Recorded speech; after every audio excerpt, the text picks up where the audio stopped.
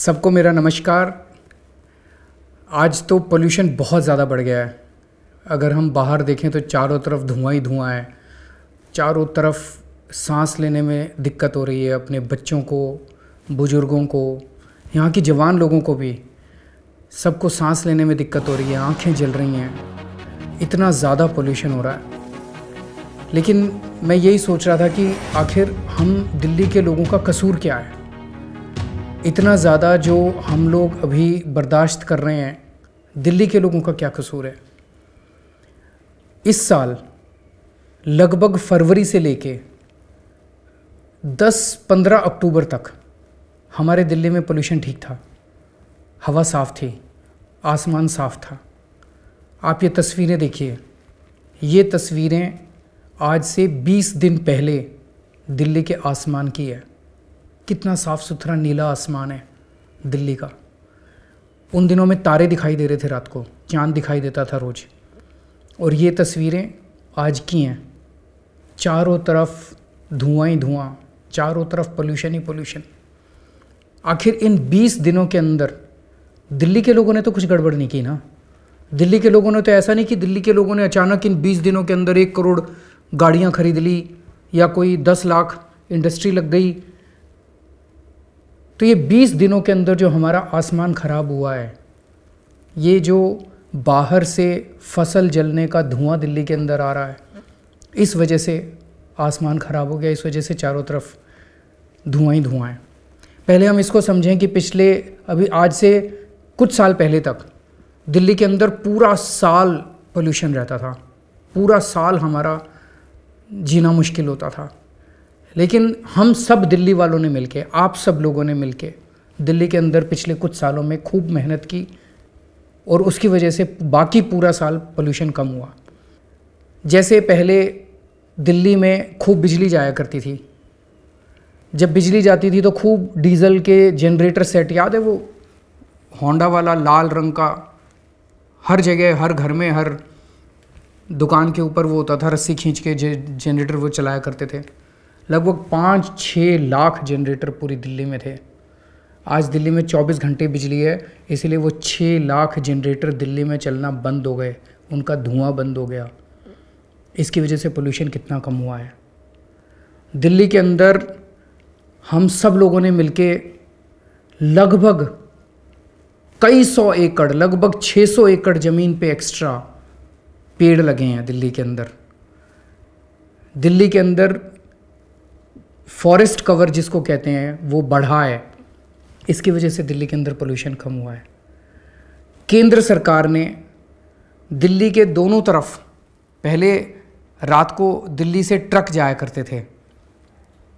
मान लीजिए हरियाणा से एक ट्रक को बहादुरगढ़ जाना, उधर जाना है, गाज़ियाबाद तो वो दिल्ली के अंदर से होते के गुजरता था। उत्तर प्रदेश से हरियाणा में आना है, वो दिल्ली के अंदर से होकर रात को गुजरता था। रात को वो धुआँ छोड़ता हुआ जाता था। सारी रात धुआँ भर जाता था दिल्ली के अंदर और सुबह जब उठते थे तो चारों तरफ़ धुआँ ही धुआँ होता था। केंद्र सरकार ने ईस्ट वेस्ट पेरीफेरल रोड बनाए हैं। उसकी वजह से अब ये सारे ट्रक बाहर से जाने लग गए। इस वजह से दिल्ली में धुआँ कम हो गया। दिल्ली में जितनी इंडस्ट्री थी, पाँच, साढ़े पाँच हज़ार इंडस्ट्री, जो ऐसा फ्यूल इस्तेमाल करती थी जिससे पोल्यूशन होता था, वो सारा बदल दिया। अब हम लोगों ने सख्ती करके, दिल्ली के लोगों ने इंडस्ट्री वालों ने मिलके उस पोल्यूशन को ख़त्म कर दिया, पूरा फ्यूल बदल दिया। वो अच्छे फ्यूल के ऊपर आ गए हैं।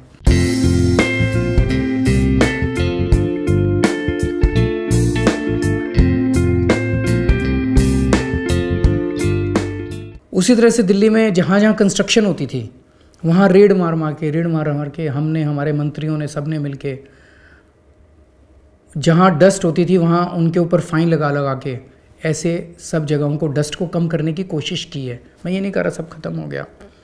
इस बार दिवाली पे आप लोगों ने कमाल करके दिखाया। दिवाली के ऊपर इतने कम पटाखे पटाखे बजे, लेकिन लगभग 80 परसेंट, सत्तर परसेंट बच्चे, मैंने बच्चों से पूछता हूँ, बच्चे कहते हैं हमने पटाखे नहीं बजाए। पंद्रह बीस परसेंट बच्चों ने पटाखे बजाए। हमारे बच्चों ने पटाखे बजाने बंद कर दिए। दिल्ली सरकार ने लेज़र शो का प्रोग्राम किया था ना, कनॉट प्लेस में। इतने हज़ारों लोग गए। अपने पटाखे छोड़ के वहाँ देखने के लिए गए। तो हमने, हम जो कर सकते थे, हमने पोल्यूशन को, दिल्ली के लोगों ने पोल्यूशन को कम करने की पूरी कोशिश की है। हमने सब कुछ किया है, दिल्ली सरकार ने, दिल्ली के लोगों ने मिलके। उसके बावजूद हम ये सब क्यों भुगते हैं? पिछले 20 दिन के अंदर इतना धुआँ आ रहा है, दिल्ली के अंदर इतना धुआँ आ रहा है। लोग कहते हैं, कुछ मीडिया वाले कह रहे हैं कि ब्लेम गेम मत करो। हम ब्लेम गेम नहीं करना चाहते। हमारी सेहत का मामला है, हमारी सांसों का मामला है, हमारे बच्चों की, हमारे परिवार की, हमारे दिल्ली के लोगों की सेहत दांव पे लगी हुई है। हम ब्लेम गेम क्यों करेंगे? ब्लेम गेम करने से हमें क्या मिलता है? हम केवल ये कहना चाहते हैं कि इस समय बीमारी क्या है? बीमारी ये है कि फ़सलों का धुआँ यहाँ आ रहा है और फ़सलों के धुओं को रोकना है।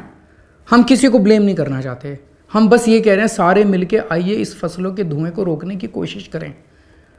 इसमें कोई दो राय नहीं कि फ़सल का धुआँ, सारी एजेंसीज बता रही हैं, सारे इंजीनियर, सारे साइंटिस्ट, सारे एक्सपर्ट बता रहे हैं कि फ़सलों का धुआँ दिल्ली के अंदर आ रहा है, इस वजह से चारों तरफ़ इतना पोल्यूशन है। तो ब्लेम गेम करने का हमारा कोई मकसद नहीं है। और इस चीज़ पे बिल्कुल राजनीति नहीं होनी चाहिए। लेकिन हमारा ये कहना है, सारी सरकारें मिल के बैठ के इसके ऊपर, हम सारे मिल के बैठ के इस पर बात करें। लेकिन ये कैसे होगा? इसके ऊपर कौन अभी, जैसे पंजाब और हरियाणा में, टोटल 27 लाख किसान हैं। और अभी तक वहाँ पिछले डेढ़ दो साल में पैंसठ हज़ार मशीनें बटी हैं, जो कि किसानों को फ़सल जलाने से रोकने के बजाय, बिना फ़सल जलाए उसको हार्वेस्ट करने के में मदद करती है। तो 27 लाख किसानों तक कब तक पहुँचेंगे? कितने साल में पहुँचेंगे हम लोग? अभी कितने साल और हमें भुगतना पड़ेगा? ये सारे मुद्दे हैं जिसके ऊपर हमें चर्चा करने की ज़रूरत है। लेकिन हम हाथ पे हाथ रख के तो नहीं बैठ बैठ सकते। बाहर से जो धुआँ आ रहा है, वो तो आ रहा है। लेकिन अपने दिल्ली के अंदर का जो पोल्यूशन है, उस पर तो कोशिश करके इसको और कम करते हैं, और कम करते हैं, और कम करते हैं। तो मैं दो चीज़ें आपसे, एक तो कल से ऑड इवन शुरू हो रहा है। सुबह आठ बजे से शाम को आठ बजे तक। मेरी आप लोगों से सबसे विनती है, मेरे लिए नहीं, अपने बच्चों की खातिर, अपने परिवार की खातिर, हम सब लोगों को दिल्ली की खातिर, अपने दिल्ली परिवार की खातिर, अपने दिल्ली के दो करोड़ लोगों की खातिर, आइए इसको पालन करें, अच्छे से पालन करें। सुबह आठ बजे से शाम को आठ बजे तक। तो आप अगर आपके पास ऑड नंबर की गाड़ी है तो वो ऑड तारीख को चलेगी। इवन नंबर की गाड़ी है इवन तारीख को चलेगी। दूसरे दिन आप क्या करेंगे? दूसरे दिन अपने दोस्त के साथ जाइएगा। मैं भी फॉलो करूँगा। मैं भी ऑड इवन फॉलो करूँगा। मेरे ऊपर भी लागू होगा, मेरे मंत्रियों पे भी लागू होगा, और मेरे अफसरों पे भी लागू होगा। कल से मैं भी अपने किसी एक मंत्री के साथ सुबह गाड़ी शेयर करके जाया करूँगा। आप भी फॉलो कीजिए। अपने किसी दोस्त के साथ आप टाई अप कर लीजिए, उसके साथ रोज़ जाना। और दूसरा, ये मैं स्कूल के बच्चों के ज़रिए मास्क भिजवा रहा हूँ आपको। जिस दिन ज़रूरत पड़े, आपको लगे सांस लेने में दिक्कत हो रही है, उन मास्क का इस्तेमाल कर लेना। इतना ज़्यादा धुआँ, इतना ज़्यादा पोल्यूशन है।